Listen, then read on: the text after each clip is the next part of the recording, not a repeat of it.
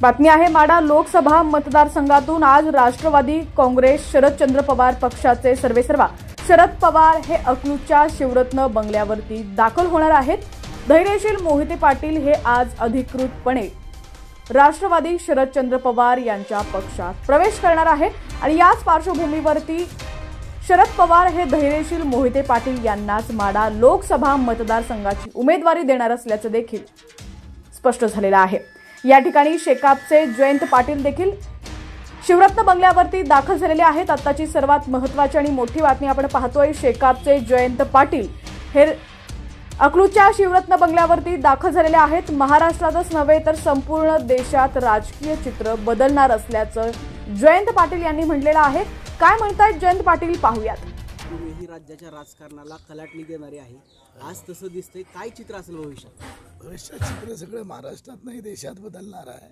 पण महाराष्ट्रात दिवसेंदिवस पवारसाहेब आणि उद्धवजी ठाकरे यांचं प्रभुत्व या ठिकाणी वाढलेलं दिसतं आहे आणि या आम्ही गेली भेटतो तुम्हाला मी आज चौथ्या वेळा भेटतो आहे पंढरपूरला भेटलो सोलापूर सांगोल्याला भेटलो. आणि आज इथे आपण पुन्हा भेटतो आहे मला वाटतं की यावेळेला मी सांगितलं होतं जेव्हा नॉमिनेशन सुरू होईल त्याच्यात चित्र बदलत जाईल आणि हे चित्र मोठ्या प्रमाणात बदलेल असं मला वाटतं. चारशे पारचं काय होईल? दोनशे करून देते आणि मग चारशेच्या कशाला प्रत्येकाला? मला सांगा आज कोण कोण येणार आहे? आणि आज काय मला माहिती नाही आहे मला फोन आला होता. त्याच्यामध्ये या ठिकाणी ए, सग मला वाटतं पवारसाहेब येतील इथे.